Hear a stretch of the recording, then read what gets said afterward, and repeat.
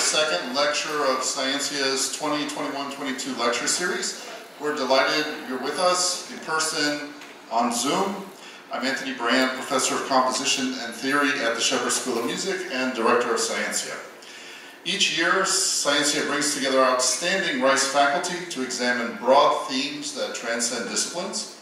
This year's series celebrates and explores the vast interconnectedness that animates nature and human life. Tonight, we're honored to present Professors John Sparagana and William Parsons. John Sparagana is Grace Christian Vieti Chair in the Visual Arts at Rice University. His work has been shown internationally, most recently with exhibitions in Los Angeles, Berlin, Chicago, Houston, New York, and Zurich. He is the author with Mieke Bal of Sleeping Beauty, a one-artist dictionary, University of Chicago Press, and with Reto Geiser, Reading Revolutionaries. On the occasion of his solo exhibition, Shatter, Corbett versus Dempsey published the monograph John Sparagana, covering five series completed between 2016 and 2019. His exhibition, Projectile, opens at Soccer Club in Chicago on November 12th, so just in a few days. He'll present a solo exhibition at Houston's Sicardi Ayers Bacino Gallery this coming April. William Parsons is professor of religion at Rice University. He holds a BA from Brandeis University and a PhD from University of Chicago. He has written and edited 11 books, including Teaching Mysticism, Oxford Press, and Being Spiritual but Not Religious, Past, Present, Futures. He has served as chair of the Department of Religion at Rice, as director of the Humanities Research Center, and been a fellow at the Martin Marty Center of the University of Chicago and at the Institute for Advanced Studies at Hebrew University. Each of our guests will speak for about 20 to 25 minutes, and then at the end we'll have 10 minutes for questions and invite you very cordially to a reception in the lobby. Please join me in welcoming Professor John Sparagana.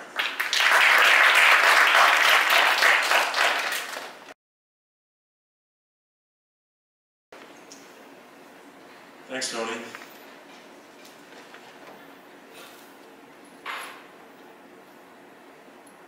Hi, everybody. I'm going to read. Uh,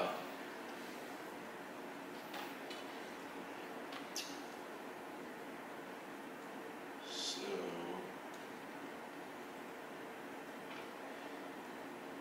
for the past 20 years, my work has utilized images from popular media news, fashion, comics, materially breaking down and restructuring result in pieces that carry the DNA of the source media image, yet shift their informational mode. Images with the intention of triggering an immediate and directed response to a sensual, sensual poetic, ambiguous, indeterminate mode and artwork.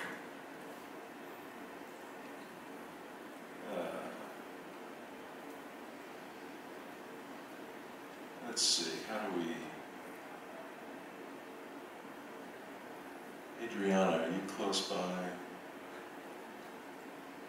Oh, there we go. Okay. So I'll, just, I'll show you. Come on. I want to bring up this image.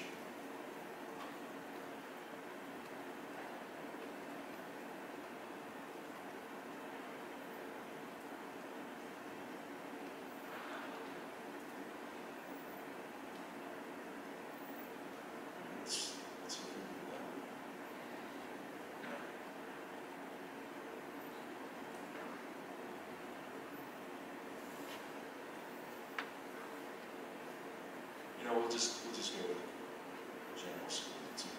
Yeah. Okay. So um, I've got a couple. Yeah. Uh, there's one and.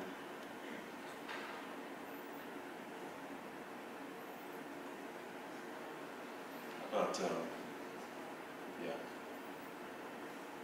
I'm not used to a mouse. Okay, so uh, that one is, you can see, uses comics, Dick Tracy comics.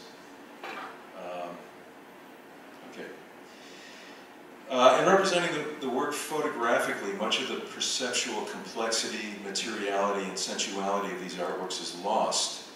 The resulting representation is a normalization of the work such that it loses its impact and unfortunately to a significant extent its meaning.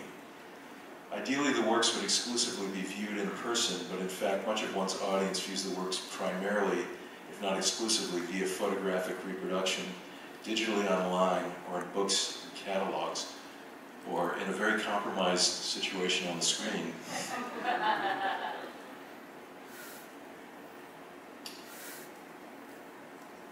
So we're looking at uh, this one right now. Uh, uh, this uh, Revolutionaries piece is from uh, 2014 exhibition Crowds and Power.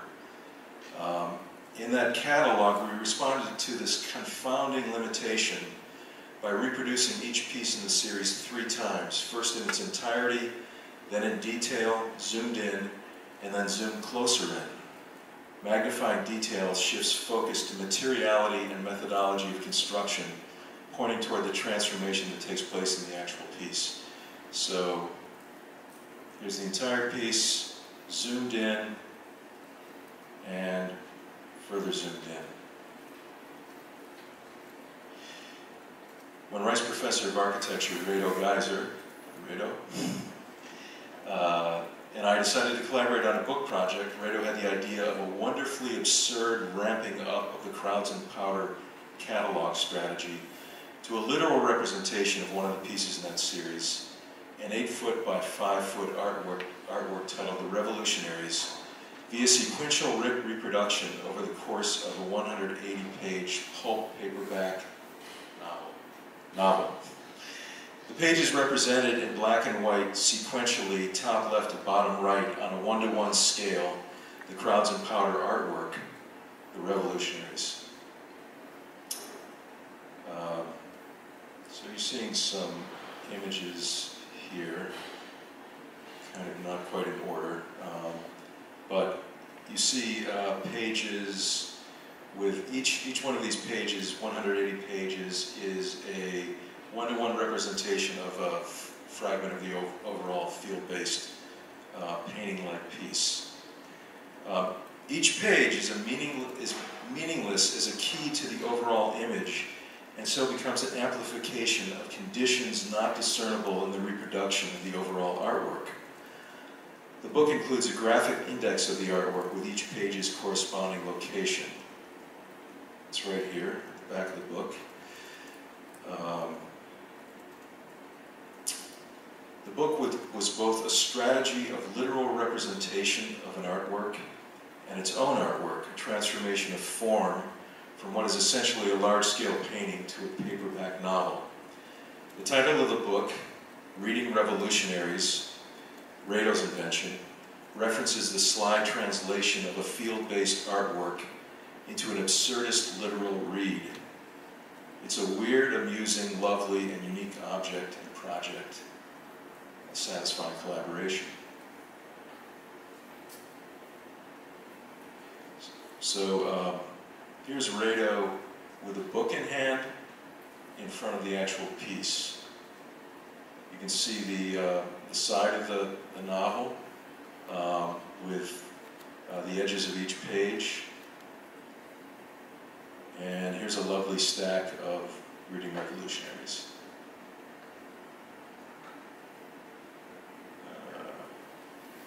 See, I want to get back to your email. Excellent job.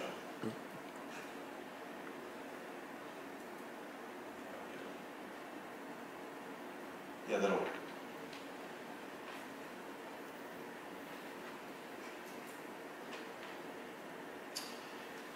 In 2017, musician, poet, and Brooklyn College professor David Grubbs contacted me about making a cover for his Duke University Press book, now that the audience is assembled.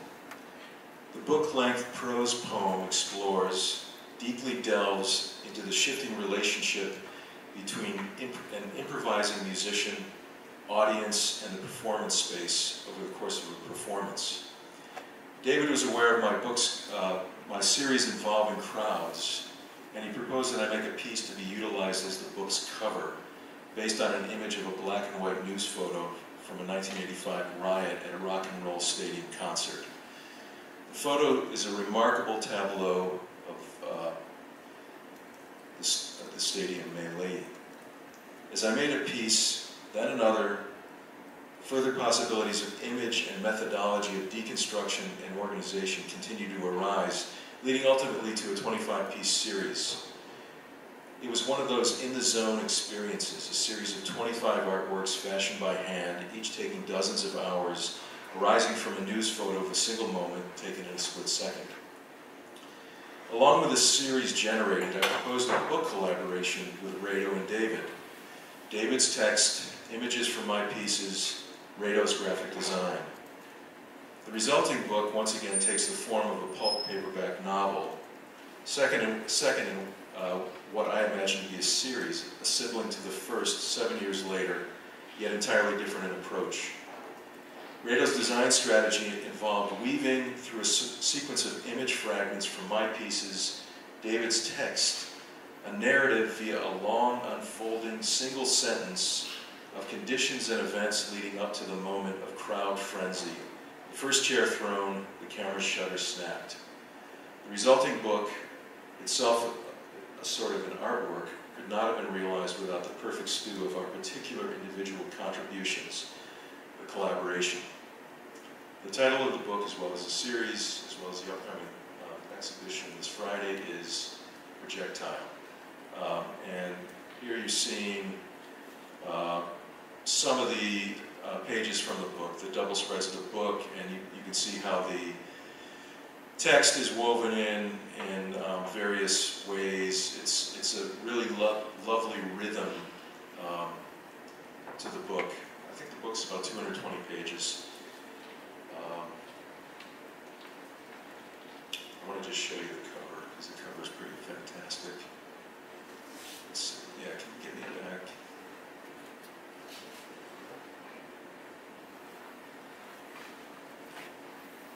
I teach studio-based classes, and I, and I don't like to show images on the screen, so, yeah, yeah, that's good. So, uh, I apologize for my uh, fumbling with this. Um, so, here is the um, cover, front and back. Some more of the images, pages with the text mixed in. So finally, I- want to mention that my interest in speaking today is in acknowledging the mystery of creative, of collaborative creative process. How transformative works are generated through collaboration. One may trace the steps, analyze the role that each member of the collaboration played, recognize the sparks in the process, but at core, how ideas arise remains mysterious. Thank you.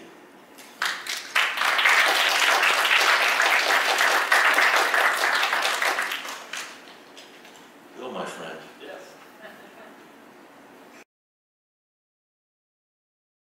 We uh, have it figured out. I- I'm not really used to holding the mic. I I feel like I should serenade you with a couple of songs before I, which I'd be very happy to do, but it's probably not appropriate. So- So I take it my task today is to provide a general frame for trying to get a grip on what has come to be known as being spiritual but not religious. The most recent reports from Pew and the Public Religion Research Institute indicate that at least 18% of the US population self describe as being spiritual but not religious, and that's a lot. Significant and it perks the interest of scholars of religion like myself. But what does being SBNR really mean? It's on dating sites. Just ask your kids, except for those of you who are kids, you probably already know that. So it must be something. But is it clear cut and easy to identify? Or is it more like what Gertrude Stein once said about Oakland, California, namely, there is no there there? It's a good question. So let's start with the easy. We can say what it is not. It does not refer to those who have definitively settled in a particular institutionally based religious tradition, are happy with its ethical and metaphysical postulates, and are consistent in observing its services and rituals. If this is the case, then it would suggest that being SBNR refers to those who are not wedded to a particular tradition. Those who are disillusioned with traditional institutional religion, yet may also feel that those same traditions contain deep wisdom about the human condition. To say I'm spiritual but not religious would then indicate that a person seeks to integrate that religious wisdom without fully committing to what is perceived to be the false trappings and mendacity of religious accoutrements of all kinds, i.e., dogma, ideologies, rituals, hierarchies, etc. At the same time, befitting spiritual shoppers in a consumer age, it also speaks to those who canvass multiple religious traditions, mining their spiritual wisdom and introspective, introspective techniques for the juice of peak experience in order to foster a spiritual journey tailored to their individual needs. This general portrait has been detailed a bit more in contemporary academic literature. To note some pertinent, pertinent takeaways from that literature, those who profess to being SBNR contest any claim to absolute authority and point, with regard to traditional institutional forms of religion, to their historical role in perpetuating unfair forms of economic, social, and political power. Those who profess to being SBNR also tend to valorize individualism, free creative choice, and expression. Egalitarianism, a psychological therapeutic approach to spiritual growth, and a seeker mentality. They are more apt to see humans as basically good, or more liable to participate in multiple, diverse, yet entangled institutional forms. Think the local Jung Institute, the local Zen Center, and yes, even the Catholic Mass. They are, on the whole, likely to proclaim a vague pantheism and outlook, affirm a liberative, if undefined, ethic, and are more likely than not to affirm the possibility of reincarnation. Still others see being SBNR as valorizing a new set of institutions, the therapeutic clinic, the theater, the university, Rothko Chapel, the UN, retreat centers of all kinds. A 2015 study by the Pew Research Center concluded that being SBNR maps across multiple segments of the American population, noting that this change is taking place, and here I quote, across the religious landscape, affecting all regions of the country and many demographic groups. While the drop in Christian affiliation is particularly pronounced among young adults, it is occurring among Americans of all ages. The same trends are seen among whites, blacks, and Latinas, among both college graduates and adults with only a high school education, and among women as well as men. So this emerging portrait of being SBNR has also given rise to a variety of depictions of who and what they are in popular media outlets. For example, one could point to the disillusioned character played by Laura Dern in the HBO series Enlightened, a character who spends 50,000 bucks on a Hawaii New Age retreat where she meditates, practices yoga, undergoes therapy, achieves a level of enlightenment, then returns to her corporate job in an effort to change her friends, family, and the world as a popular illustration of what we might mean by being SBNR. Alternately, fans of the television series Mad Men might recall the final episode where Don Draper, on retreat at that famous California center known as Esalen, which, by the way, has been framed as proclaiming the religion of no religion, comes up with a new advertising jingle, which is to say, I'd like to buy the world a Coke. A jingle that, in real life, was recorded by a group known as the New Seekers, the underlying meaning of its lyrics being to bring love and harmony to the inhabitants of the earth, or to go to the farthest, unflattering extreme one might view a recent YouTube video found by Googling the church for people who are as spiritual but not religious that unabashedly parodies the SBNR as narcissistic and vacuous. And it so happens that I, I have that video. So I'm going to show it to you. It's about three minutes.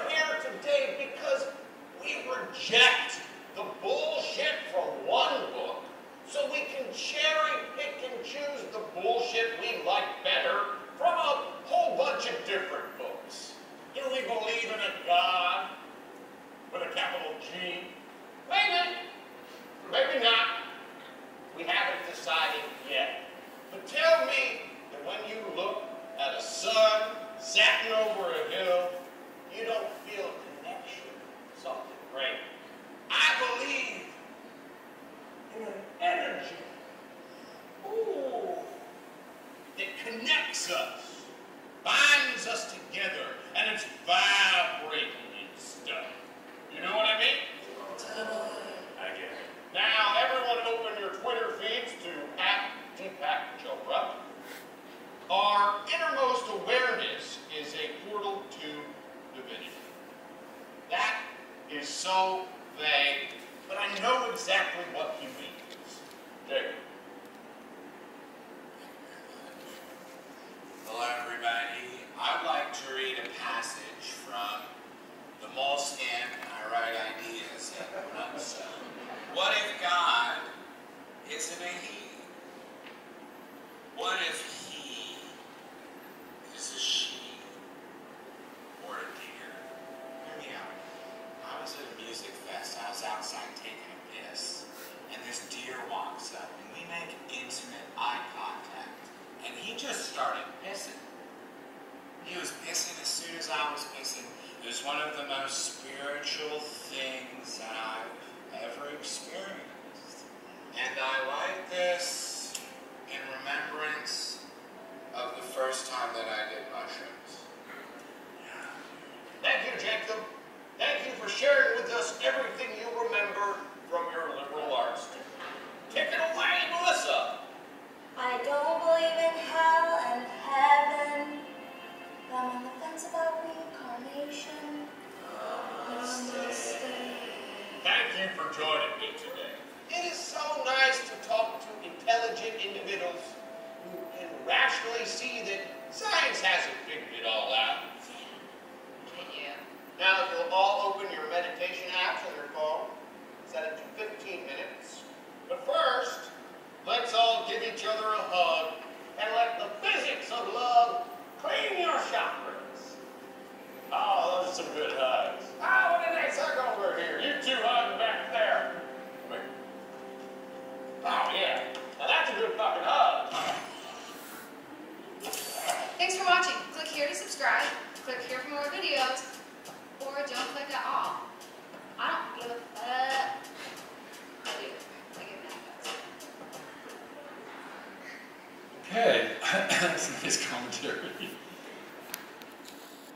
Okay, so at any rate, that was a one-sided video. And being one-sided, that video demands that we resort to that time-honored scholarly dance, the qualification. The example just given links being SBNR to neoliberal capitalism, pop media, and its consumer culture. The Perspective best seen in a book by Jeremy Carrette titled Selling Spirituality. But some scholars, notably Leigh Schmidt in his book Restless Souls, reminds us that being SBNR has taken many forms, ranging back well over a century to the creative self-expression, rugged individualism, and social activism of early New England transcendentalists like Emerson, Sarah Farmer, Thoreau, and Walt Whitman. Walt Whitman. Again, ethnographic studies, such as those tallied by Linda Mercadante in her book Belief Beyond, Beyond Borders, reveal that those who profess to being SBNR have a spectrum of allegiance to organized institutional religion, ranging from those completely divorced from the latter those who have maintained a certain degree of commitment to them, even to the extent of making a traditional religion their major home, but integrating multiple other religious practices and ideation to fit their needs for spiritual individuation. In other words, being SBNR sometimes shades into being spiritual and religious. It seems that being SBNR is not a cut and dried phenomenon, but consists of shades of gray, which suggests that we need more ethnographic studies as well as multiple analyses concerning what constitutes being SBNR. In other words, whatever one might initially think being SBNR is, I can tell you that you are partially right, but also partially, as Humphrey Bogart once said in Casablanca, misinformed. And so being misinformed, we can say more. One of the ways to go about getting to know that more is to go back into history, when it started and how it developed. Let's start with we, what we in the trade call genealogies. Historical drift is from a form of spirituality defined relative to church and tradition. Let's call this classic spirituality. To a form divorced from church and tradition. Let's call this modern spirituality. For example, in the letters of St. Paul, we find him speaking of spiritus, a term he used to signify those individuals whose mind, will, and heart were ordered and led by the Spirit over against those egotistically attached to and led by the things of the world. While through the centuries spirituality carried alternate meanings, at one point actually being used in a juridical sense to denote ecclesiastical offices and property. Today, the church sense of spirituality refers to the aims and goals, practices, and virtues of believers defined relative to the totality of a church religious matrix. Think Teresa of Avila or St. John of the Cross.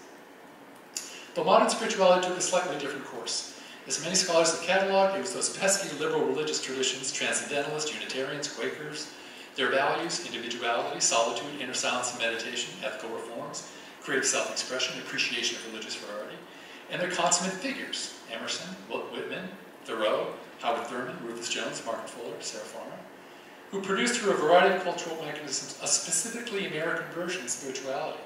Walt Whitman, Walt Whitman speaks to this shift when he observes that the spirituality of religion would issue forth only in the perfect uncontamination and solitariness of individuality, an utterance that signaled the move to an unchurched, non-traditional, and even anti-institutional orientation towards the divine. Going forward in time, one of the very first references to SBNR was in 1926 in a journal called the American Mercury, where the then president of the Rotary Club of all things described his organization as inclusive, non-sectarian, and notably as spiritual but not religious. That was mirrored in 1934 in, of all places, the Washington Post, an article about the great Lusitania shipwreck, an article that described various models for memorializing their lives lost as spiritual but not religious. And while other snippets like these can be found in magazines and journals as the force of the therapeutic system, that of Bob Wilson and his 12-step AA program, which he and others described repeatedly in the 50s to the 70s as being spiritual but not religious, that became the major force behind the popular dissemination of the term. And so it is that we get Ellen Burstyn's character in the 1980 movie Resurrection, a character who has a near-death experience and subsequently gains paranormal powers, being described as spiritual but not religious. And in 1985, Norman Lear, of all people, described himself as the spiritual but not religious Jew. And again, in a 1989 LA Times personals ad, a woman described herself as a lovely Eurasian woman, spiritual but not religious, believes love is the highest expression of the human experience. When in 1999 the moniker was taken up by the Gallup poll, becoming one of three options for describing one's beliefs, religious, SBNR, or neither, with 30% choosing SBNR, the die was cast. SBNR was here to stay. Surely there were many other forces that added meat to this skeletal historical frame. We are looking for those cultural strands that might cause not just a few individuals, but whole groups of them to become suspicious of and to withdraw from the traditional ways in which institutional religion asks us to demonstrate our commitment to the divine. Existing studies have pointed to a number of such strands and conditions that have colluded to form the contemporary option of being SBNR. Salient points include the role of neoliberal capitalism, of democracy and pluralism, particularly of Eastern religions, the Western religious past, as I said, as I've already said, the of Protestant thought, and the cultural influence of science and psychological modes of introspection. Complicit with these factors is the American stress on individualism and pragmatism, the rise of the secularized consciousness, and the separation of church and state. And one can say so much more. Think of the decade of the 1960s with this focus on what is known as the death of God theology, the ingestion of mind-altering substances like LSD, the role of queer and racially marginalized communities, the growing awareness that institutional religion was all too much embedded with politicians' capitalist and vested interests, hence helping to maintain its evident structural racism, repressed sexualities, and gender biases. There's much here to investigate, and all of it has caused many to cast a skeptical, skeptical glance toward divine commands of any kind. So in trying to answer the question what cultural forces colluded to make up the SBNR, the answer is that it's complicated the incomplete list that I just presented would further have to admit that any attempt at cultural analysis seeking to track any social historical manifestation, such as the SBNR, must do away with the concept of cause in favor of a Weberian elective affinity itself being complicated, not only because of the degree of difficulty involved in isolating and naming such strains, but also because of the degree of impossibility involved in tracking how they morph. Finally, since we have inquired about the past origins and development of the SBNR, as well as some of its present expressions, we can end by asking about its future. Whether the SBNR, will it continue to flourish, or will it die on the vine, like so many other religious movements? If it continues to grow, what will it look like? Here's where the scholar puts on a second cap out of the public intellectual. If being SBNR is somewhat nebulous, can we step in and help form it? Well, one thing for sure, scholars have been quite active in pointing out what is wrong with it once that is on the books, we have at least some basis for, for, for suggesting how to write it. But as has been said, the devil is in the details, and it's not quite so simple. Scholars seem to love to disagree, and with respect to the wrong and the right of the SBNR, there's been a fair amount of debate. Again, to offer a brief, incomplete survey, studies have brought up a number of concerns, including charges that it fosters spiritual narcissism, the lack of community, and insipid perennialism, a superficial consumerism, an unarticulated ethic and metaphysic, a disjointed connection to the past, and idiosyncratic eclecticism, and seeming ignorance of the need for social activism. Questions abound concerning its viability, sustainability, and future relation to organized religion. So again, whether the SBNR. In answer to this, just as with its past and present forms, is, is difficult. What one can say is that its course will be in part determined by the social soil of the future. In that sense, its future is like a train without tracks. It is we who will collectively till the ground on which the tracks will be laid. Ending then with that note of, mystery, uh, I thank you for your attention.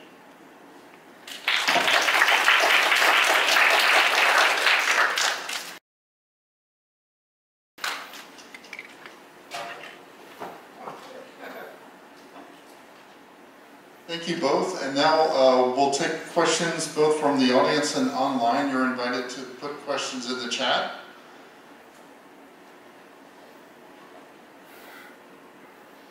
Does anyone want to start us off?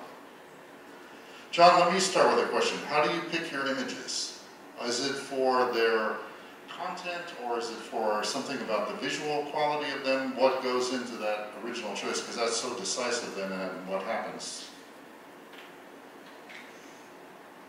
Varies. In a, in a certain sense, um, any, any image from popular media, um, take, take a news image, for example, the different series that I've done with news images, um, just the fact that it is a news image and that I've interacted with it and shifted its terms from those informational, pragmatic, to some extent maybe pro- propagandistic terms to um, you know, op- open it up into something uh, more am- ambiguous and open-ended and, um, you know, uh, shift the, the, the visual nature. That transformation is what I'm most interested in.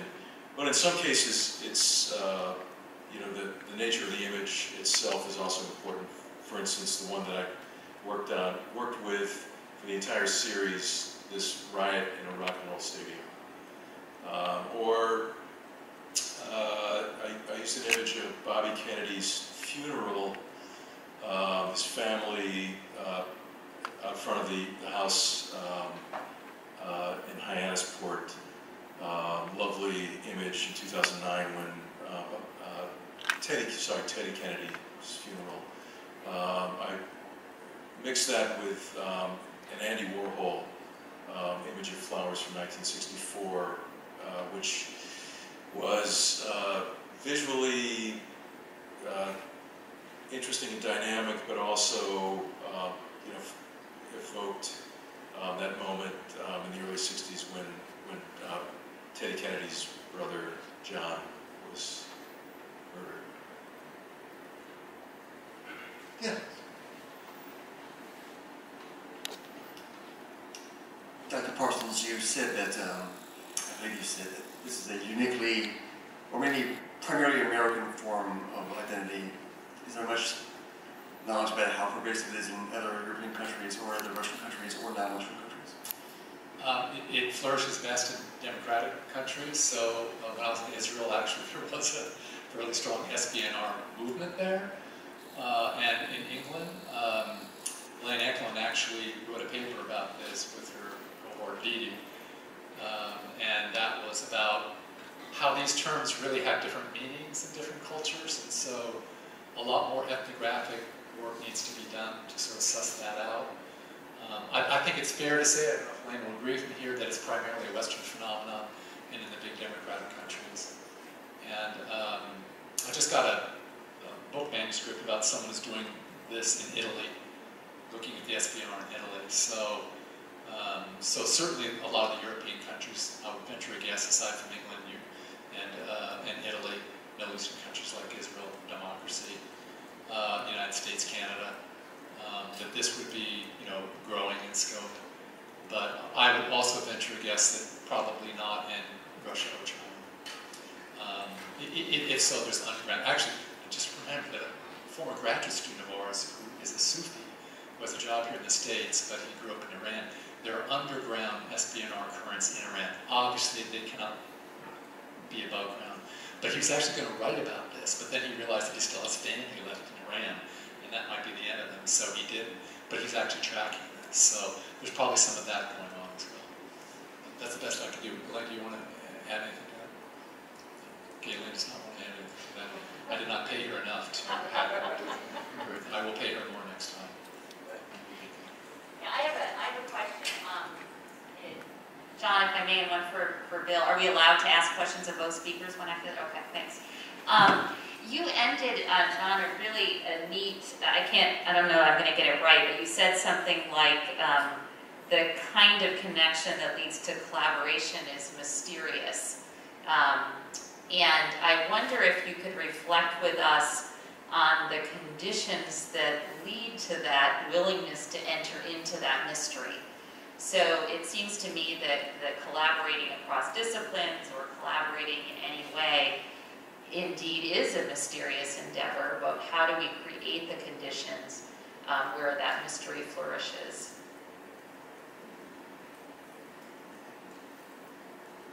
You know, I, for me, it was a more general um, kind of reflection on creative process.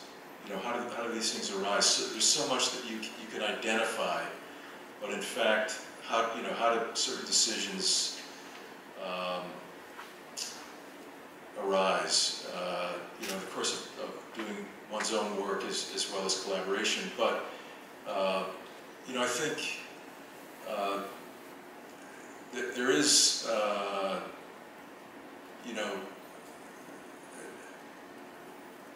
I'm a studio-based artist, you know, so it's a it's a solo um, kind of occupation, and it's um, there's there's a there's a kind of an energy that that results from interacting with other you know other people, other minds, other talents, and it's it's uh, it's very cool to see something emerge that uh, has has something to do with you know with your own practice, but that uh, takes it somewhere else um, than you could have imagined going. And there's also a, a fellowship in it that's that's really lovely. Well, that's. That is a really neat response. Thank you. Thank you. And Bill, I was wondering, um, as you know, I'm a huge fan of your work, and I was wondering, when you are thinking about the genealogy of the spiritual but not religious, what is the connection in your mind to institutionalized religion? So you and I have talked about this, but I just love to hear you reflect more. So the video clip that, that you that you showed, which was terribly funny, um, but you know there were like five different religious traditions um, uh, mentioned, and you know as I've studied uh, spiritual but not religious in the scientific community, I've gotten reviews on articles, and reviewers say things like, "This is not a real phenomenon; it's something that's in response to a particular form of religious." religion. So it's a Christian spiritual but not religious, or when we study this in the Indian context, it's a Hindu spiritual but not religious, a kind of responsiveness to a particular form of institutionalized religion. So, uh, I mean, th- those are clearly also the case. But what happened was back in 2000 and I think it was 18 or 17, we had this conference. You remember what year that was? Because you were in it, but I, I can't remember that far back because of, you know, mine.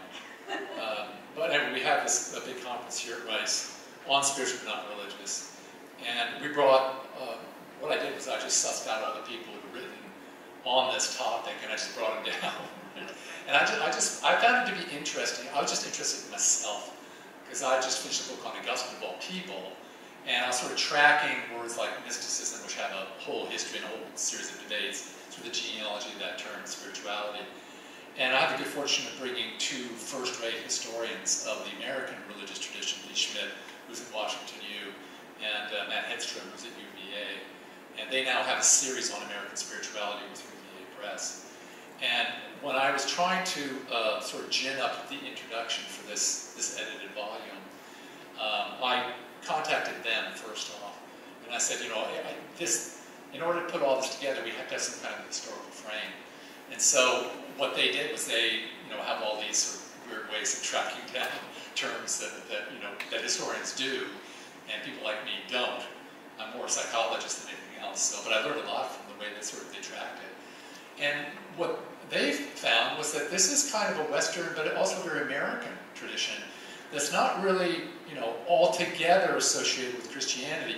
You know, and I, I you know, if, if you, in, in, my talk, I talked about the 1926. This is actually the first reference to spiritual and religious that we could find. 1926 in the American Mercury, and it was the president of the Rotary Club. Now, that makes a certain amount of sense because they want business and they want business from anybody, right? So, spiritual but not religious sort of sounds very generic, and so it's, it's accommodating to everybody. But then it also got into newspapers, and then AA, of course, is the same kind of a thing. So, you might say those are sort of deracinated or disillusioned products of people who, you know, don't want to be in the Christian tradition. I suppose you could say that. But I, I, would, I, would, I would say also that there seems to be an American focus to this, and so you go to the American metaphysical tradition. Now, how all of that combines together, this is also what I said, kind of techno speak, which I'm sure no one here had any idea was talking about, and I knew it's probably going to fly above everybody's head, but I refer to it, they bear an elective affinity. So it's, you know, this notion of cultural strands. You just pointed out two, I just pointed out a third. So cultural strands, and when I teach this, I give the analogy of a blender.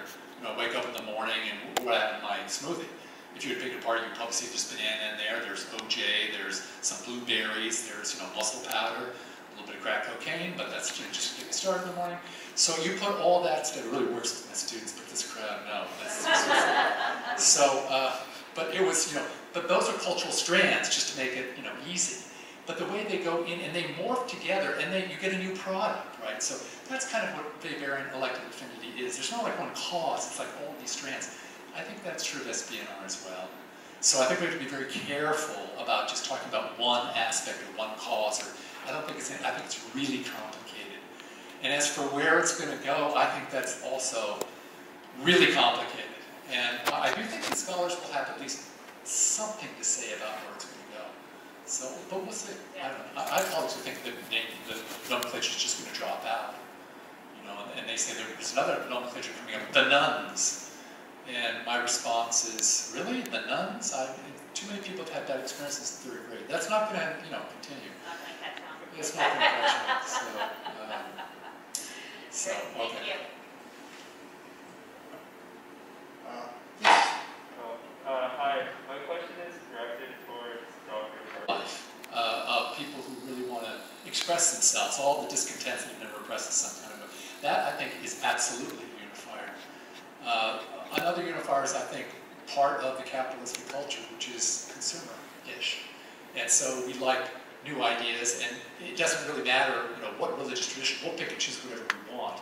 So if I go to HB, HEB, you go to H, HEB, I'm sure you'd be getting the organic carrots and the cabbage and stuff, and I'd be getting the hot fudge and the, the chocolate, which is what I always get there because the hot fudge is so good. But it would be very different, right? But we're shopping, you know, the market is the same. So that would certainly be, uh, you know, a, a second thing. Um, so other than those two, I'm having a hard time just off the top of my head coming up with another really important one. But in a capitalistic culture that prizes individuality and free choice, it, it's a pretty good bet that that kind of thing is going to stick around, particularly with people who want to express themselves, their inner, inner discontents, and, and be, be, you know, uh, authorized to do so.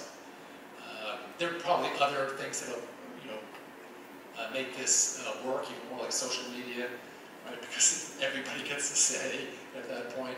So that, that kind of self-expression is sort of going to stay out there. But you know, that's also why it, it may lead to backlash. So uh, if it's just, it can be very narcissistic in that way. And there's a, you know, I mentioned Jerry, Jeremy Carrette's book, Selling Spirituality.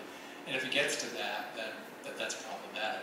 And I have friends on all ends of the spectrum, you know, people who are, I consider to be mostly narcissistic, but others who are very, very thoughtful very individualistic, very critical of traditional religion, but also very firm in their own desire for their own spirituality. So I, I think it's a very complicated, you know, phenomenon.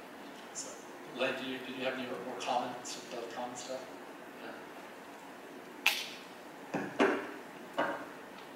Another question?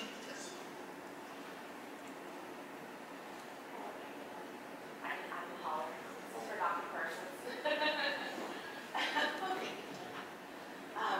I've always been kind of fascinated by the Second Great Awakening movement um, in the early 1800s, which I thought was always a product of another set of uniquely American circumstances. Um, and I'm curious to know if you see any parallels between the rise of SBNR and the rise of some of the groups that came out of that Second Great Awakening movement, and if that can maybe present a roadmap for what might be ahead. Another great question.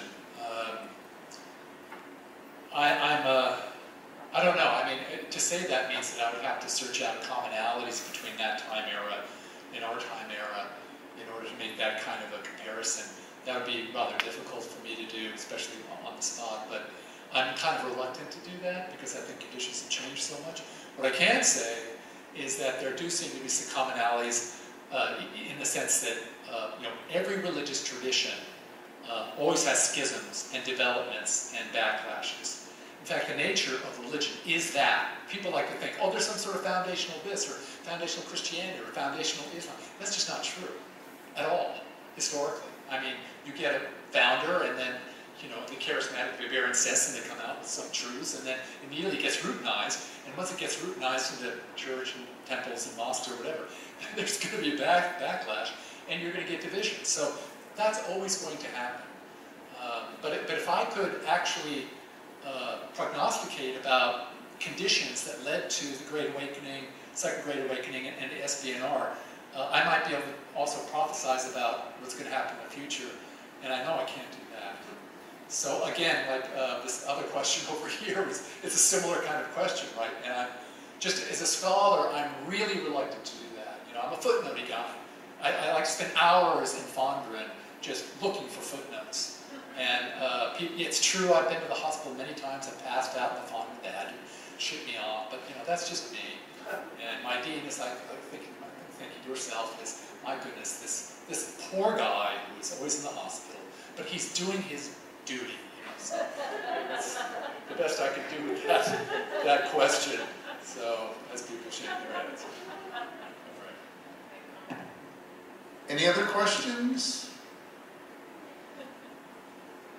Oh, yes. Yeah. And I think we'll make this the last question and then we'll have our reception.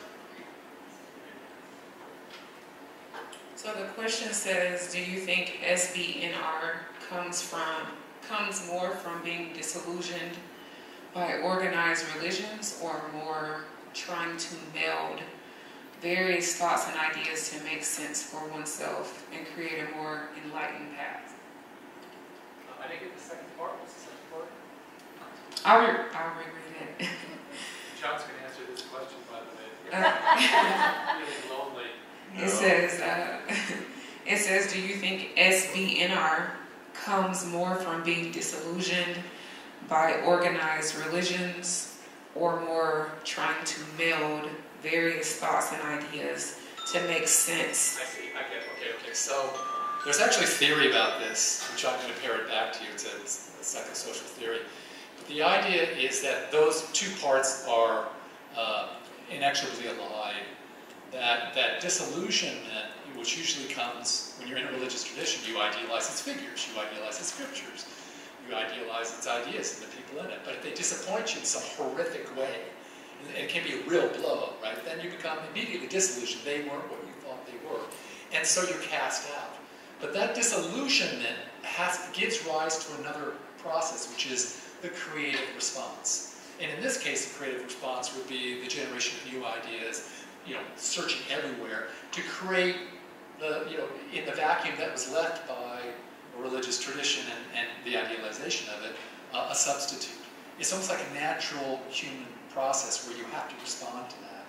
So uh, that, that, that's a theory of what they call mourning, M-O-U-R-N-I-N-G, not M-O-R-N, not evening. It's, it's, a theory of mourning, so it's not just a loved one that is lost, it could be an abstract ideal or. And when that happens, then you're bereft of that structure, and as a human being, you have to respond in some kind of a way. So it's almost as if that has to happen, unless there's repression somewhere. But in our open culture and pluralism and uh, capitalism and individualism, then, then that's naturally going to happen. So that's the way I'd answer your question.